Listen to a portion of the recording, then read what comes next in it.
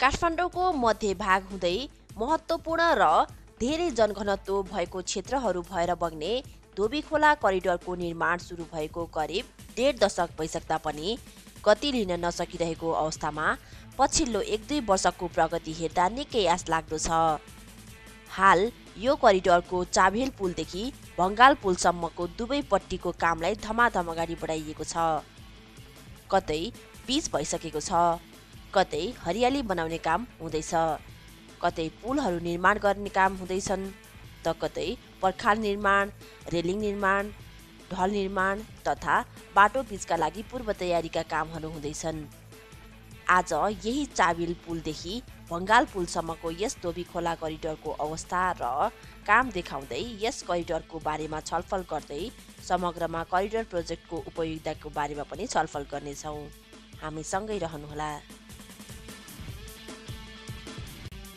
विक्रम सम्बत दुई हजार साठी सालबाटै निर्माण सुरु गरिएको धोबीखोला करिडोरले विभिन्न विवादहरूको सामना पनि गर्नु पर्यो लामो समय यस आसपासका जग्गा धनीहरूसँगको विवाद अन्तर्निकायगत समन्वयको अभाव अनुगमन तथा सरकारी तवरबाट चासोको कमीले गर्दा यो महत्त्वपूर्ण परियोजना ढिलो भइरहेको थियो।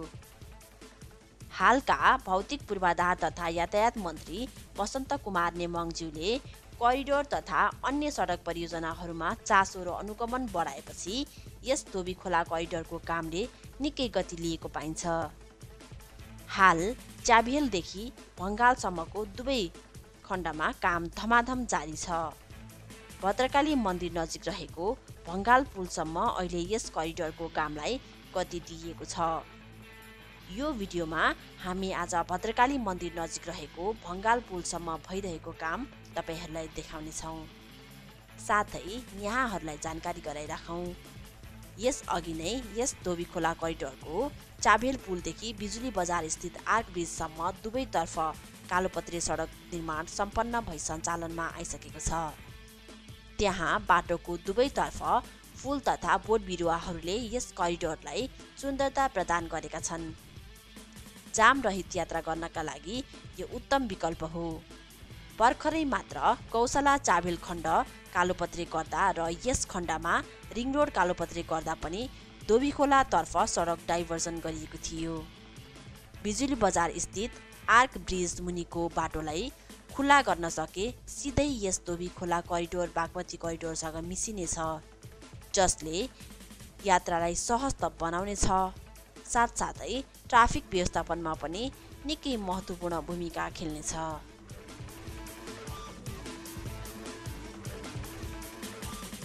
काठमाडौँ उपत्यकाको विभिन्न ठाउँमा देखिँदै आएको ट्राफिक जामको सम्बोधन गर्न सहरलाई सुन्दर बनाउन र नदीनालाहरूको संरक्षण गरी सफा बनाउन नेपाल सरकारले विभिन्न करिडोरका योजनाहरूलाई प्राथमिकतामा राखेको पाइन्छ। काठमाडौँ उपत्यकालाई यसको इतिहास जस्तै सुन्दर बनाउन र यस क्षेत्रको सभ्यता जोगाउन काठमाडौँ महानगरपालिका ललितपुर महानगरपालिका भक्तपुर नगरपालिका भूमि सुधार कार्यालय सहकारी तथा गरिबी निवारण विभाग सडक विभाग अधिकार सम्पन्न बागमती सभ्यता एकीकृत विकास समिति लगायतका निकायहरू प्रत्यक्ष तथा अप्रत्यक्ष रूपमा लागि परेका छन्। हाल बागमती विष्णुमती धोबी खोला मनोहरा बल्खु इन्द्रमती र हनुमन्ते खोला करिडोरको निर्माण विभिन्न चरणमा पुगेका छन्। करिडोर निर्माणको थालनी बागमती करिडोरबाट सन् दुई हजार नौबाट सुरु गरिएको हो। करिडोरको निर्माणले नदीनालाहरूको संरक्षण हुनेछ ट्राफिक व्यवस्थापनमा निकै ठुलो सहयोग मिल्नेछ पार्कहरू निर्माण हुनेछन् खुल्ला ठाउँहरू बन्नेछन् ढल निकासको राम्रो व्यवस्था मिलाइनेछन् नदीनालाहरू सफा हुनेछन् साथसाथै बोट बिरुवाहरूले वातावरणमा राम्रो प्रभाव पार्नेछन्